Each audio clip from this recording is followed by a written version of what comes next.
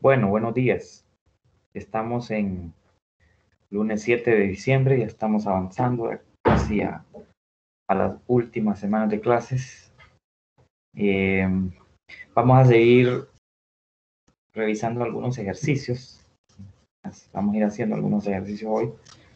Y eh, al final, antes de que terminemos, les tengo que dar una, un anuncio importante. Así que se quedan hasta el final porque hay un anuncio muy, muy, muy, muy importante que les tengo que dar al final. Bueno, vamos a compartir pantalla vamos a iniciar.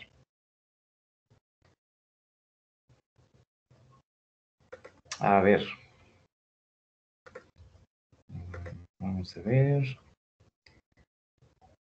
Ahí se supone que ya estoy ahí ya estoy compartiendo pantalla. Vamos a buscar acá. A ver.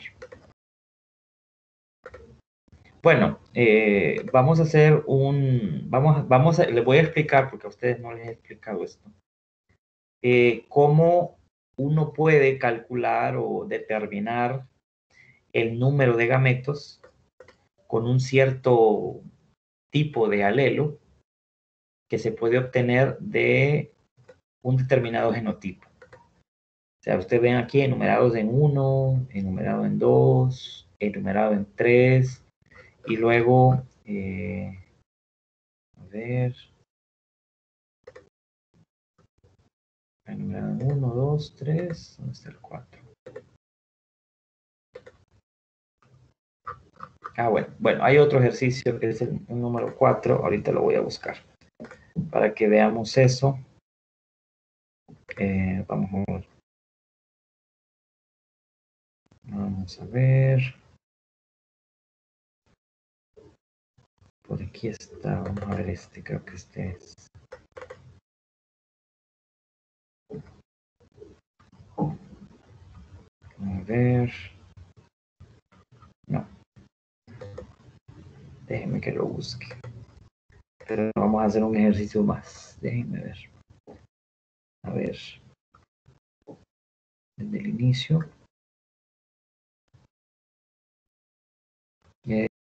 Binomio este, creo que este es. Vamos a ver si aquí aparece.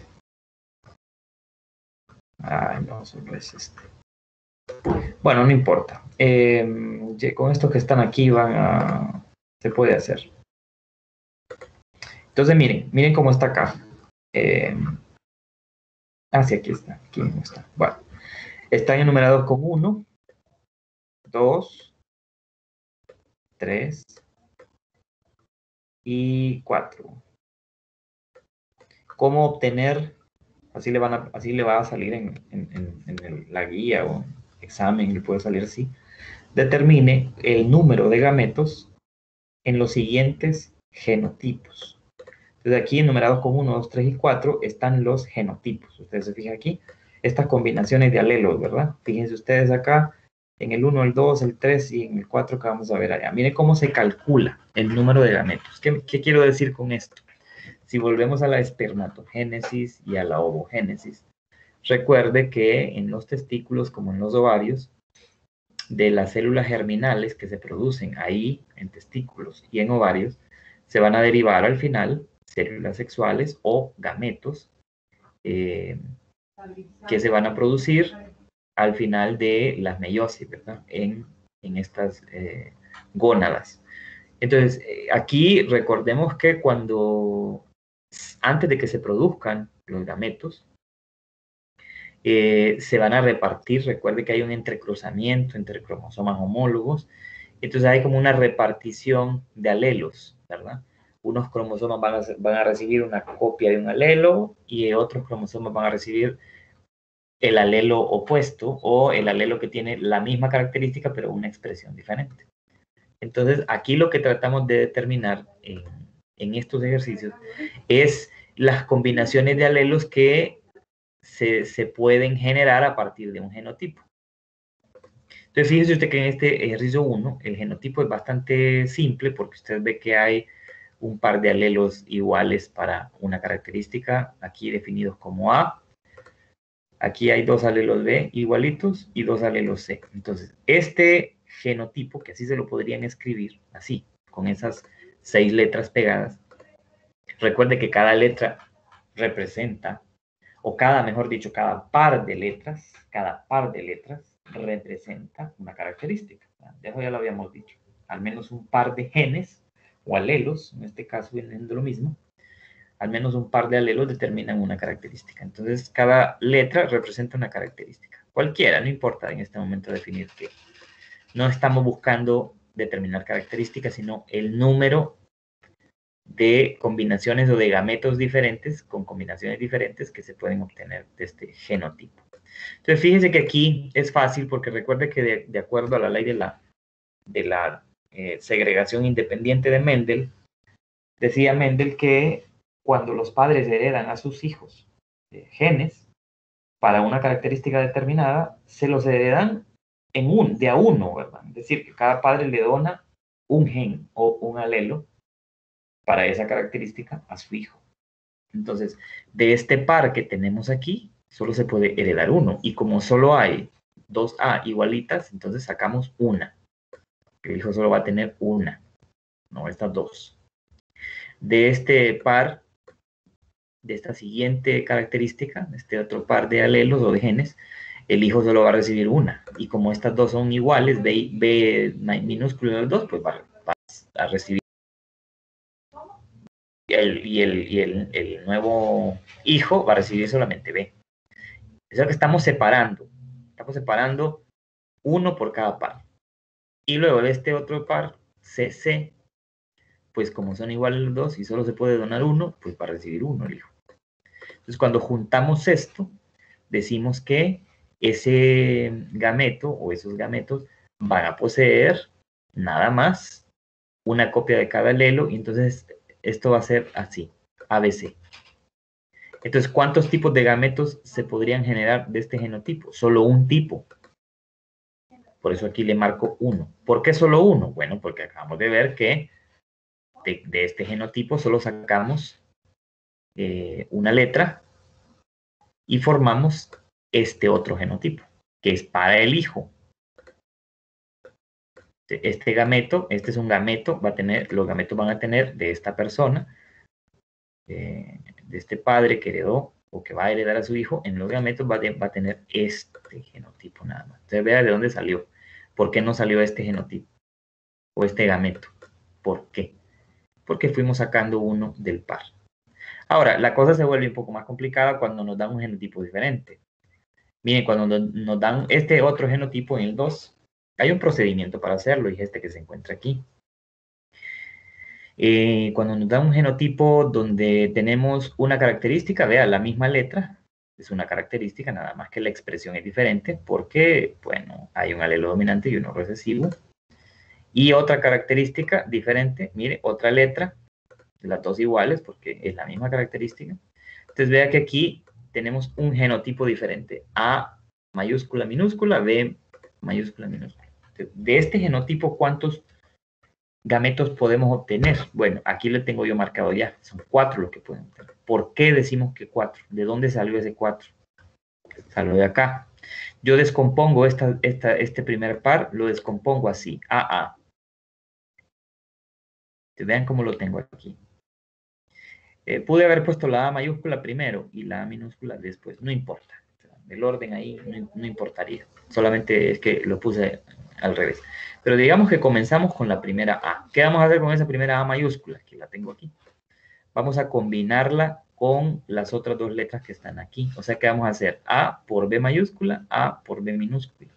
¿Qué es lo que tengo aquí? Miren, A mayúscula por B mayúscula por B minúscula. ¿Qué, se, qué, se, qué, combinación puede salir, salir de, de, esto? Bueno, de A mayúscula más B mayúscula, la combinación es AB, AB las dos mayúsculas.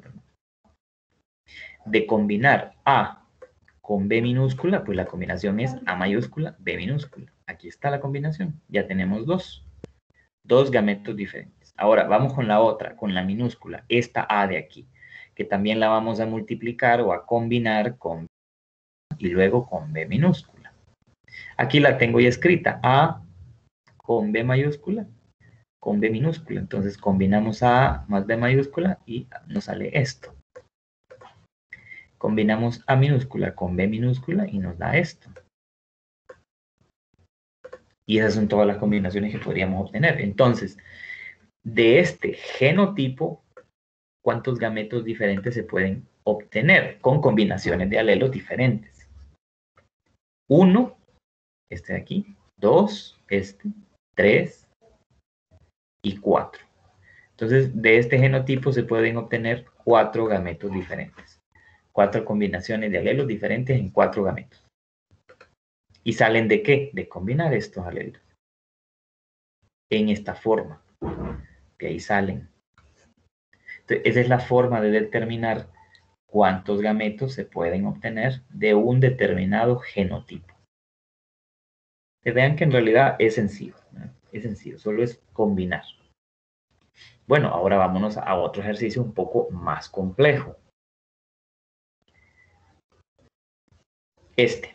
Nos un genotipo un poco más, complejo, más grande. Miren, aquí hay un, par de alelos, otro par de alelos. Esta es una característica, esta es otra característica, esta es otra característica y esta es otra característica. Vea que tenemos cuatro características diferentes en combinaciones de alelos. Vea, tenemos aquí una, la letra A, aquí B, otra característica, aquí C, otra característica y aquí G, otra característica.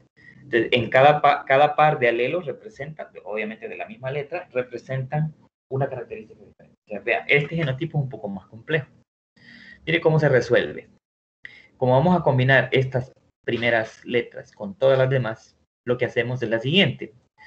Si se fija, como las dos primeras letras son minúsculas, las dos, yo no tendría caso que hiciera dos veces esto. Solo lo tengo que hacer una vez. O sea, con una A la combinación para todas las demás. ¿Por qué? Porque como es la misma letra, ¿para qué voy a duplicar?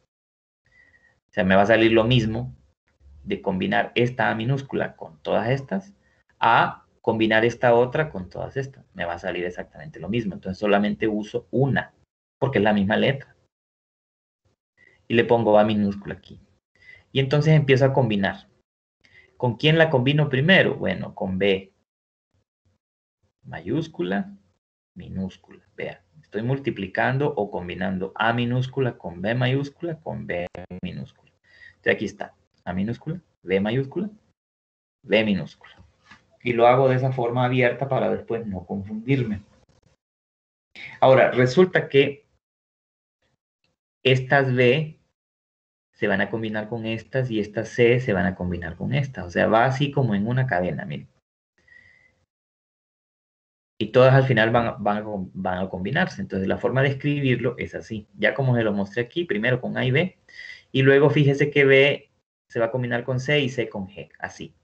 B mayúscula se tendría que combinar con la C mayúscula y con la C minúscula. Lo mismo B minúscula se tendría que combinar con C mayúscula y con C minúscula. Entonces, ¿cómo hago eso? Para no confundirme. Lo hago así. B la B que tenía mayúscula y la B minúscula que tenía, hago dos flechas y digo, bueno, esta la vamos a combinar con C mayúscula y con C minúscula. La otra B la voy a combinar igual con C mayúscula y con C minúscula. Ahora, fíjese bien la C. Como hay que combinar las G también, mire, mire la C. La C mayúscula se tendría que combinar con G mayúscula y con G minúscula. Lo mismo la C minúscula con estas otras dos también. Entonces, ¿cómo hago eso? Bueno, C mayúscula la combino con G mayúscula y G minúscula. C minúscula la combino con esas mismas G mayúscula y minúscula. En el caso de esta y en el caso de esta también. O sea, aquí repito, C con G mayúscula, G minúscula, C con G mayúscula, G minúscula. Y esas son las combinaciones que tendría que hacer. Ahora lo único que tengo que hacer es juntar todas las letras en combinaciones para los gametos. ¿Cómo hago eso? Bueno, parto de aquí primero. Parto de A. A combinada con B mayúscula, combinada con C mayúscula, combinada con G mayúscula. Eso está aquí, ¿ve? A, miren, minúscula combinada con B mayúscula, C mayúscula, G mayúscula. Toda esta línea la combiné así. Me salió esto. Aquí. Esta línea, para acá. este es un gameto. Y se fijan, este gameto contiene un alelo de cada letra o de cada característica, A, B, C y G, en esta combinación. Ahora, me vengo con, vuelvo con A otra vez, para atrás. Me había, había combinado la A con todas las mayúsculas aquí. Sale esto. Ahora voy a combinar la A con esta B mayúscula, con esta C mayúscula, pero ahora con la G minúscula. Y me sale A, B, C y G, así. O sea que me viene así, A, B, C y luego G acá. Y me salió esta otra combinación. Ahora fíjense que vuelvo yo acá a la otra vez, vuelvo a B, ahora ya no con C mayúscula, sino con C minúscula. Aquí me voy así, A, B y F, C para acá. Minúscula, G mayúscula y me sale esto. Luego vengo A, B, C minúscula, G, G minúscula y me sale esto. Y ahí ya llevamos cuatro combinaciones diferentes. Si se fijan, cada combinación es distinta. Porque cada gameto recibe alelos en un orden diferente. En una combinación diferente. Ahí llevamos cuatro ya. Y ahora vengo yo con la A otra vez y ahora vengo por este lado de abajo. A, B minúscula, C mayúscula, G mayúscula, me da esto. Vuelvo. A, B, C mayúscula, G minúscula, me da esto. Ahora vuelvo. A, B, C minúscula, G mayúscula, aquí. A, B, C minúscula, G minúscula, esto. Si se fijan, cada combinación que me salió es diferente. Es diferente. Si se fijan también, al inicio, la primera combinación que me dio, eh, la mayoría son mayúsculas y vean cómo las mayúsculas van disminuyendo hasta llegar a todas minúsculas. Entonces, al final tengo ocho combinaciones diferentes, tengo ocho gametos diferentes que pueden obtenerse de este genotipo. Ahí solo es de hacer el cuadro y practicarlo. O sea, hacer el esquema y practicarlo. O sea, es, es relativamente simple, solo es de seguir, seguir un orden y eso es todo. Eh, hay un video, hay varios videos en YouTube también en donde hay más ejercicios de este mismo tipo y lo único que tiene que hacer usted para, para, para practicar, digamos, con otros ejercicios es eh, buscar, poner ahí en el buscador de YouTube eh, cómo calcular gametos diferentes de un genotipo o poner cuántos genotipos obtengo de un, cuántos gametos obtengo, perdón, de un genotipo. Y ahí le van a aparecer varios ejercicios parecidos a esto, ¿verdad? En donde le van a hacer el mismo, el mismo esquema, así, para hacer una combinación de alelos. Ahora fíjese en esta otra. Esta otra es otro ejemplo. Aquí vea usted el orden, ¿verdad? Solo es para que vea el orden como va esto. Miren este genotipo. ¿Cuántas características tenemos aquí? Tenemos cuatro también, porque tenemos cuatro eh, letras diferentes, ¿verdad? Miren, A, R, D y J. Entonces, fíjense que igual vamos a combinar las A, aquí son A mayúscula, minúscula, por eso sí vamos a hacer las dos, A mayúscula, A minúscula. En el ejercicio anterior era una sola, porque, el par era el mismo, la misma letra minúscula, entonces no teníamos que duplicarlo, pero aquí sí tenemos que hacer duplicación. Combinar las A mayúscula con todas las demás. Y luego combinar la A minúscula con todas las demás. Y entonces obtenemos este cuadro. Decir A mayúscula por R, por esta R, por D y por J minúscula. Nota esta combinación de arriba, la 1. Eh, luego A mayúscula por R siempre, pero por la D minúscula y por la J minúscula y nota esta combinación. Ahora la A con las R minúsculas y con la D mayúscula y J minúscula y nota esto. la A mayúscula con la R minúscula, con la D minúscula y la J minúscula, nos da esta combinación. Ahí tenemos cuatro combinaciones diferentes, cuatro gametos diferentes. Ahora vamos con la A minúscula. Hacemos lo mismo, mismo esquema. A minúscula con R mayúscula, con D, con J, tanto las D, cada una de las D mayúscula minúscula con la J minúscula. Y la R minúscula igual como en el esquema arriba. Entonces vean que al momento de hacer las combinaciones me salen 1, 2, 3, 4, 5, 6, 7, 8 gametos diferentes a partir de este genotipo. O sea, véanlo unos segundos. Solo vean el esquema para que sepan cómo es que se hizo. Lo que, lo que hice aquí o lo que se hace es combinar el primer par con todas las demás. Entonces vengo yo a esta mayúscula con esta mayúscula y con esta minúscula. También tiene que ir incluida la D mayúscula, la D minúscula y estas dos J. Y eso se, se hace así, haciendo este esquema como triangular. vean, vean, ¿no? Y fíjense que en realidad es fácil hacerlo. O fácil, es, facilito hacerlo. Luego solo se juntan las letras. ¿sí? Este, este, este con este y estas con estas. Se juntan y se obtienen estas combinaciones diferentes. En realidad no es complicado, solo es práctica. Práctica para saber cómo hacer el, el esquema de triángulo y la combinación. Entonces, ¿qué quiere decir esto?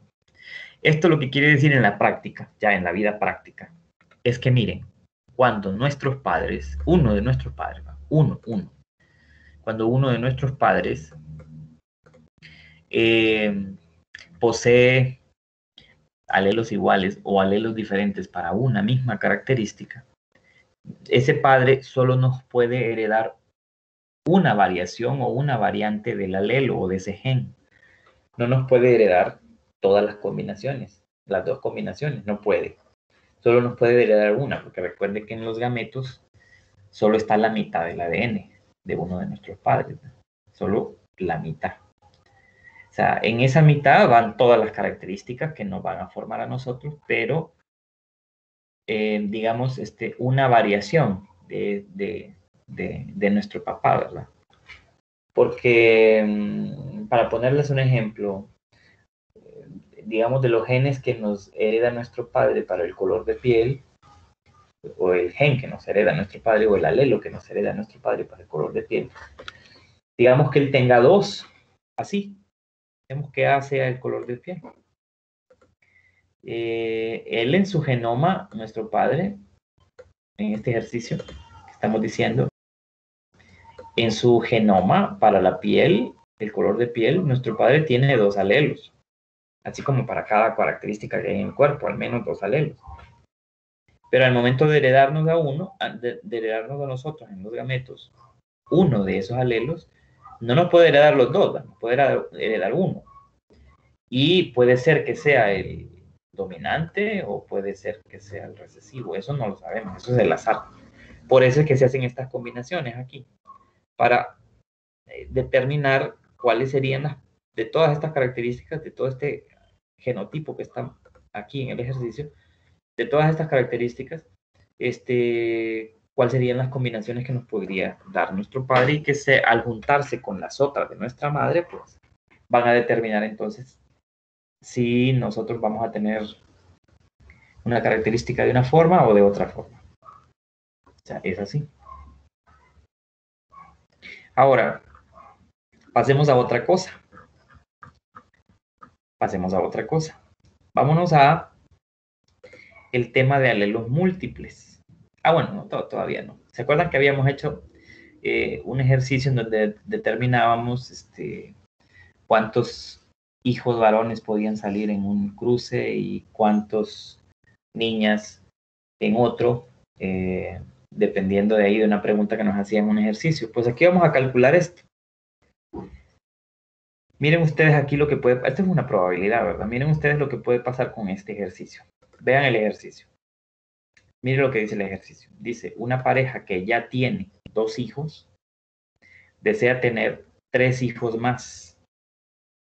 La pregunta es, ¿qué probabilidad hay que dos hijos sean varones y uno sea niña? Volvemos a leer el, ejercicio. Una pareja, una pareja, dos personas, que ya tiene dos hijos, desea tener tres hijos más. Entonces, la pregunta que nos hacen es, ¿qué probabilidad hay de que de esos tres hijos más que quieren tener, dos sean varones y una nada más sea niña? Entonces, recordemos que eh, primero tenemos que extraer algunos datos importantes. Entonces, los datos que extraemos es que el universo de eventos que esperamos es tres, porque el ejercicio nos dice que la pareja desea tener tres hijos más y que de esos tres lo que tenemos que calcular es que dos sean varones y uno sea niña. Entonces el universo va a ser tres, es el total de eventos que esperamos, tres hijos. Y se desea que de esos tres hijos, dos, como decíamos, sean varones y una sea niña. Entonces yo le asigno por el orden del ejercicio. Recuerdan que habíamos hablado de un factorial también o de, de un binomio, pero el factorial es el método que más utilizamos para hacer estos cálculos. En el factorial hay dos variables, A y B. Yo se las asigno. Yo asigno el valor de las variables, las asigno, las asigna uno, como uno quiere. Pero yo mm, prefiero eh, definir el valor de las variables de acuerdo, al, de acuerdo al orden en que me está pidiendo el ejercicio. El, ejercicio primero me dice que, qué probabilidad hay de que dos hijos de esos tres sean varones. Entonces, digamos que eh, la primera opción es que dos sean varones. Entonces yo a los varones les asigno la letra A, que es la primera, aquí en el factorial, por el orden, nada más. No importa si lo hago al revés, no importa. Y a la letra B le asigno la niña, que es una niña, de acuerdo al ejercicio. Entonces recuerden que el factorial se escribe así. n factorial entre a factorial, b factorial. Y al resolverlo, e, n es el universo, o sea, son 3. O sea, 3 factorial. A es 2, 2 varones, entonces 2 factorial. Y b es 1, una niña, aquí, 1 factorial. Cuando yo hago esto, recuerde que factorial es multiplicar el número que me están dando por los números menores a ese hasta llegar a 1. Entonces, 3 los multiplico por todos los menores hasta 1. 3, entonces, por 2, por 1. Y abajo, 2 por 1 por 1, porque aquí tenemos 1. Por 1, ahí está recuerde, el factorial es multiplicar todos el número que me dan ahí por todos los números menores a ese número hasta llegar a 1.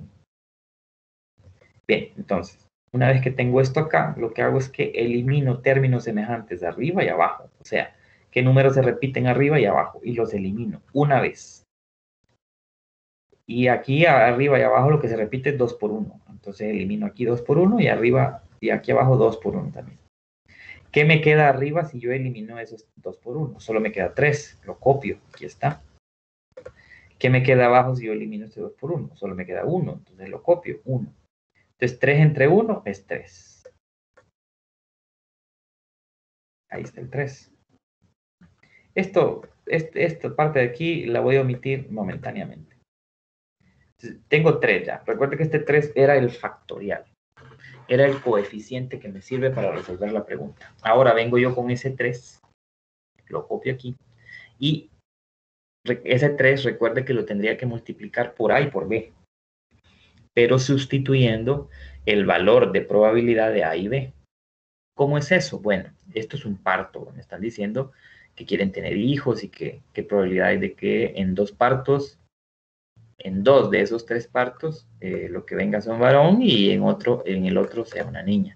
Recuerde que para, cada parto solo hay una probabilidad de uno, de uno, de dos, de que salga niño o niña. Entonces yo en, vez de A pongo la probabilidad de que en un parto nazca niño o niña, que es uno de dos. Entonces, uno de dos y lo elevo al cuadrado. ¿Por qué al cuadrado? Porque me están diciendo que los primeros dos sean varones. Y aquí habíamos definido ya que 2 y van a ser varones. Eso es lo que me está diciendo el ejercicio. Lo pongo aquí como un superíndice o como, un eh, como, un, eh, como una potencia. Y luego B, probabilidad de que sea una niña, es 1 de 2 también. No lo elevo a nada porque solo es una niña, no es más. Entonces ahora sí resuelvo esto. Resuelvo primero lo que está en paréntesis. 1 multiplicado dos veces es 1. 2 multiplicado dos veces es 4. Aquí está, un cuarto. Este primero es un cuarto. Y luego copio el, el otro, va, un medio. Ahora tengo que multiplicar un cuarto por un medio. En línea, se multiplica en línea, de acuerdo a la ley de la matemática. Entonces, 1 por 1 es 1 y 4 por 2 es 8. Este que está aquí. Entonces, es 3 por 1 octavo. Cuando hago esto, puedo hacer que le ponga un denominador 1 y multiplico en línea. Entonces, 3 por 1 es 3 y 1 por 8 es 8. 3 de 8 o 3 octavos. Entonces, la respuesta a ese ejercicio es esta. La probabilidad de que esa pareja que desea tener tres hijos más, dos sean varones y una sea niña, es de tres octavos. Recordando qué quiere decir eso en la práctica. Eso quiere decir de que en ocho embarazos, de ocho embarazos, mejor dicho, de ocho embarazos, en tres de esos podría darle ese resultado que quiere. Dos hijos varones y una niña. Eso es lo que quiere decir esa probabilidad. Tres octavos, esa es la respuesta. Entonces, ¿cómo se obtiene? Así. Primero, utilice el factorial con el universo de eventos que le piden, le va a salir un coeficiente, y ese coeficiente ahora lo tiene que, tiene que sustituir los valores de probabilidad de, de, que nazca una niña o un niño y elevarlo a una potencia de acuerdo al número de niñas o niños que le piden. Y al final entonces usted obtiene esto. Hay otra forma de sacar el coeficiente. O sea, hay otra forma de sacar el coeficiente. Y otra forma de sacar el coeficiente es haciendo este otro método que se llama eh, binomio, que es este de aquí. Pero es un poco más complejo, aunque no tanto. Si se fijan, el binomio es la fórmula a más b a la n. Así como la fórmula de factorial era n factorial a b factorial. Entonces, binomio, otra forma de sacar este coeficiente, un poco más complicada, en realidad, te la voy a mostrar, pero mm, prefiero que usen el factorial. Es así, esta es la fórmula, a más b a la n. a es una variable a la que ya le asignamos varones y b es la variable a la que ya le asignamos niñas. La n, el universo siempre es 3, porque recuerden que los eventos son 3, son 3 hijos más. Entonces lo que hago es que pongo después a más b a la 3. Ahora, ¿cómo resuelvo este binomio? Bueno, matemáticamente se resuelve así. Esto es igual a eh, poner o elevar a 3 la a, a a la 3. ¿Qué quiere decir este a a la 3? Quiere decir que puede ser que, o pudo haber sido que el ejercicio me hubiera preguntado más bien que los tres fueran varones, porque le asignamos a la a eh, a los varones. Entonces, eh, esta primera parte del binomio podría ser, si nos hubieran preguntado que los tres hubieran sido varones, hubiéramos tenido que multiplicar la probabilidad de, que nazca en un parto un varón tres veces. Pero no fue esa. Entonces yo, yo coloco a a la 3, porque esta es la potencia con la que tenemos que iniciar, a a la 3. Le pongo un signo más. Y ahora lo que hago es que multiplico este 3 por este coeficiente 1, que no se ve ahí, pero ahí está. 3 por 1 es 3. Entre 1, porque Vamos a, dividir entre la posición de la A en el binomio. Esta es la primera posición. Te digo yo, 3 por 1 es 3, entre 1 es 3. Y ese 3 lo copio aquí. Ahora, de aquí para allá, el binomio, en este binomio, la A va a comenzar a bajar de, de valor. Y aquí ya es A a la 2. Aquí estaba disminuyendo de valor. Y B va a comenzar a subir de valor. Aquí está B a la 0, por eso no se escribe aquí está B a la 1. Y esto es lo mismo que me digan, bueno, de tres partos, que dos sean varones y uno sea eh, niña. Esta es la parte del binomio que me sirve, pero no he terminado de, de, realizar el binomio. Ahora tengo que ir acá, más. Multiplico este 3 por este 2. 3 por 2 es 6. Y lo divido entre la segunda posición porque es la segunda posición del binomio. La primera, la segunda. 3, 3 por 2 es 6, entre 2 es 3. Coloco el 3 acá. A va a disminuir, recuerde. Ahora ya no es 2, ahora es 1. Y B va a aumentar, ahora no es 1, ahora es 2. Y luego le pongo un más y termino con B a la 3, que es lo último que está aquí, B a la 3. De este binomio, ¿cuál es el que se acerca más a la pregunta? Este. De tres hijos, dos eh, varones y una niña. Esto. Entonces, ¿qué es esto? Es lo mismo que estaba sacando arriba. El mismo 3, el mismo coeficiente y lo mismo que tengo planteado aquí. Un medio por varones al, al cuadrado, aquí está, y un medio de niñas no elevado a nada. Y lo resuelvo y me da lo mismo. Ahí está. Ahora hagamos otro ejercicio. Hagamos un ejercicio diferente. Pero antes de hacer este ejercicio diferente, eh, tengo que explicar los grupos sanguíneos. Y em, esto de los grupos sanguíneos uno lo encuentra aquí en internet, ¿no? Eh, en los libros también, pero aquí eh, quiero explicarles esto de los grupos sanguíneos. Resulta que los grupos, el, tipo de sangre que usted tiene es una de las pocas características que se heredan no por un par de alelos, sino por más. O sea que hay más de dos alelos o más de dos genes que determinan el tipo de sangre en usted. Pueden ser tres, pueden ser tres o cuatro. O sea, a esto se le llama alelos múltiples. Cuando hay una característica que excepcionalmente se determina por más de, por más de dos alelos. Se llama alelos múltiples. Entonces, el, el tipo de sangre que usted tiene es una característica que se determina a través de alelos múltiples. Entonces, este cuadro que tengo aquí es un cuadro bastante sencillo que quiero mostrar primero eh, esto de los tipos sanguíneos. Los tipos sanguíneos pueden ser eh, cuatro. Hay cuatro tipos sanguíneos. Los, son los que están aquí. Está un tipo sanguíneo A, un tipo sanguíneo B, un tipo sanguíneo AB y un tipo sanguíneo O usted puede ser cualquiera de estos. O sea, solo estos tipos sanguíneos tenemos en los seres humanos. Tipo A, tipo B, tipo AB y tipo O. Fíjese que en el dibujo, en el dibujo, aquí en este dibujo, lo que se le está mostrando es el eritrocito, el glóbulo rojo. Usted para que tenga un tipo, un tipo sanguíneo determinado, tiene que tener algunas características en la sangre. Y estas características son las siguientes. En el glóbulo rojo debe de tener unos ciertos antígenos, que son estos, estas etiquetas que se miran aquí, estas pelotitas, que solamente son, unas etiquetas. Eh, no necesariamente es que son así redondas o que, o que tienen esta forma. No, no necesariamente. Solamente es en el glóbulo rojo, en cada eritrocito que usted tiene, va a tener unas etiquetas o unas banderitas que lo identifican. Es como una etiqueta, como un identificador. Entonces, si usted es tipo sanguíneo A, sus eritrocitos o sus glóbulos rojos van a tener una banderita, un antígeno, una etiqueta que dice que usted es A. A eso se refiere eso.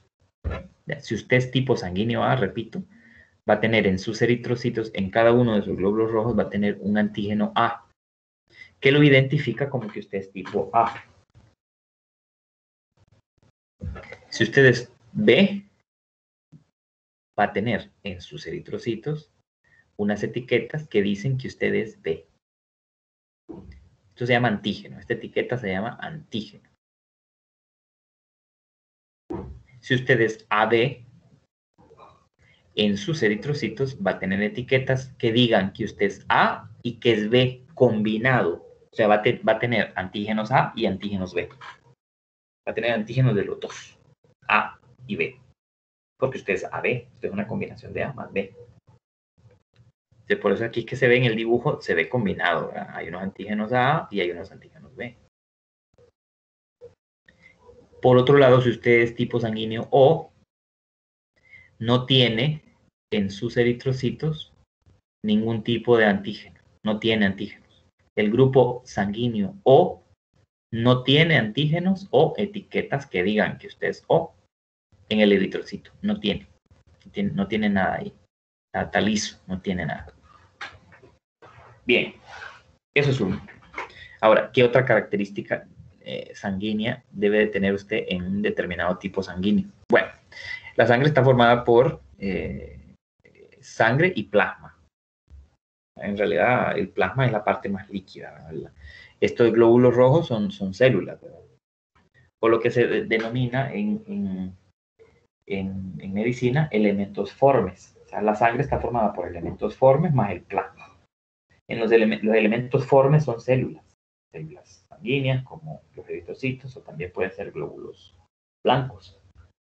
Y el plasma sanguíneo es más que todo agua más algunas proteínas que andan por ahí flotando en ese plasma. Entonces, ahora, en el plasma, una persona que es tipo sanguíneo A va a tener en el plasma, en su plasma sanguíneo, va a tener anticuerpos contra B. Entonces va a tener anticuerpos B. Esos anticuerpos son unas proteínas, recuerden, anticuerpos son unas proteínas que cuando entra un antígeno a nuestro cuerpo, cuando entra un elemento extraño a nuestro cuerpo, lo identifican como extraño y eh, producen una reacción para destruir, para que el cuerpo logre destruir ese, a, eh, a ese elemento extraño que entró a su cuerpo. Entonces, eh, una persona de grupo sanguíneo o de tipo sanguíneo A va a tener en su plasma anticuerpos contra B. Una persona que es tipo sanguíneo B va a tener anticuerpos contra A en su plasma sanguíneo. Una persona que es tipo AB no tiene ningún tipo de anticuerpos en su plasma, no tiene anticuerpos en su plasma. Y una persona de tipo sanguíneo O tiene en su plasma tanto anticuerpos contra A y tanto anticuerpos contra B. ¿Qué es lo que quiere decir esto en la práctica? Bueno, esto quiere decir, por ejemplo, que una persona tipo A no puede recibir sangre de una persona tipo B porque tiene en el plasma, una persona A tiene anti-B, anticuerpos B. Entonces, si alguien que es tipo sanguíneo B le dona sangre, estos anticuerpos se pegan a estos antígenos B y destruyen al glóbulo rojo. Entonces le van a producir una reacción que lo puede matar, lo va a matar seguramente. Lo va a llevar a la muerte.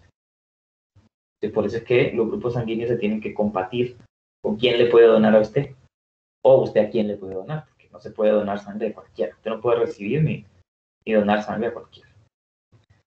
Entonces, un A no puede recibir de B, porque se muere el A. Lo va a atacar. Va a atacar a ese B. Un B no puede recibir de A, fíjese aquí. Aquí, visto de manera muy simple en el, esquema, un B no puede recibir de A porque tiene anticuerpos A, entonces va a atacar al antígeno A y va a destruir los glóbulos. Un AB, fíjense que un AB, como no tiene anticuerpos, podría recibir de B o podría recibir de A sin ningún problema. Porque no va a haber una reacción, o no tiene anticuerpos, entonces puede recibir de B o puede recibir de A también. Fíjense en grupo O, el O, como tiene anticuerpos A y B, no puede recibir de A, no puede recibir de B y tampoco puede recibir de AB. Porque recuerde que los anticuerpos lo que atacan es el antígeno, lo que está pegado, la etiqueta que está pegada al glóbulo rojo. Entonces, este O no puede recibir de ninguno de estos, solo puede recibir de otro O. En cuanto a donar, también es algo parecido. hay unos cuadros que nos dicen también a quién le puede donar un tipo sanguíneo. Ahorita solo acabamos de decir de quién puede recibir y de quién no. Y eso, eh, como ya no tenemos más tiempo, en realidad eso deberíamos de continuarlo eh, mañana porque tendríamos que ver este ejercicio estos ejercicios de grupos sanguíneos, cómo se resuelven, para poder entender mejor eh, cómo se hace eso.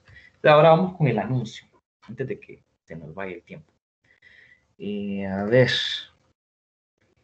no sé si está José Manuel ahí. José Manuel, escuche bien esto y todos los demás, ¿verdad? Pero escuchen bien esto. Resulta que como una buena parte de ustedes, aquí están las notas de ustedes, hasta, bueno, falta aquí lo del tercer parcial, ¿verdad? Pero eh, en las notas que tienen ustedes aquí, muchos de ustedes no hicieron eh, el, bueno, primer parcial y el segundo parcial. Entonces lo que yo voy a hacer es que eh, hoy es lunes. El miércoles de esta semana, miércoles, de las 7 a las 9 de la mañana, a las 9 de la noche, de las 7 a las 9 de la noche, les voy a repetir a los que no hicieron el examen 2. Les voy a permitir que hagan el examen 2 a los que no lo hicieron. Si ustedes fijan, aquí hay personas que lo hicieron. Personas que lo hicieron no lo tienen que hacer. Solo es a los que no lo hicieron, porque son un montón. Y si ustedes no hacen estos exámenes, solo pueden reponer uno. Esto es una cosa que yo les estoy facilitando para que no, para ayudarles a que no se quedaran, pues. Si ustedes, porque ustedes solo van a reponer al final un examen, uno. Entonces les voy a dar la oportunidad de que los que no hicieron el segundo examen lo hagan el miércoles, este miércoles, de 7 a 9 de la noche. Recuerde que solo una hora lo puede hacer, pero le doy un margen de dos horas. 7 a 9 de la noche de este miércoles, para que el que no hizo el segundo examen lo pueda hacer. De tal manera que al final, al final de la clase, el 16 de diciembre, solo, bueno, reponga el 1 que aquí, o el otro, otro que no haya hecho alguien, este, reponga, porque solo puede reponer uno. Esto es una facilidad que les doy en vista de tal vez circunstancias que creo que en muchos casos es cierto, de que la luz no tenía luz, de que la señal le fallaba, etcétera. Pero esto solo es una vez la que les voy a dar oportunidad. Una y nada más. Entonces, repito, y se lo voy a poner, se lo voy a escribir allá en el aula. Miércoles de 7 a 9 de la noche, el que no hizo el examen 2 lo haga, porque no lo hizo. Y si no lo hace, seguro que debido a eso se puede quedar. Estoy dando una oportunidad. No porque deba hacerlo, no debo hacerlo. Hago la aclaración. No es que deba hacerlo, realmente no debo hacerlo. Porque usted solo puede reponer un examen, pero les voy a facilitar para que al final, si no hicieron el 1, pues ya sí puedan reponerlo sin problema. El 1. Entonces, hago esa aclaración, ¿verdad? Para que no haya malos entendidos. No tengo por qué hacerlo. No estoy obligado a hacerlo. La ley no me obliga a hacerlo. Por ley, ustedes solo pueden reponer uno. Por ley. Así que no me defrauden, no me vayan a tratar de engañar tampoco los que ya lo hicieron y lo van a volver a hacer. No, porque aquí tengo yo los nombres de los que ya lo hicieron. El que ya lo hizo, ya lo hizo. Punto. No lo va a volver a hacer.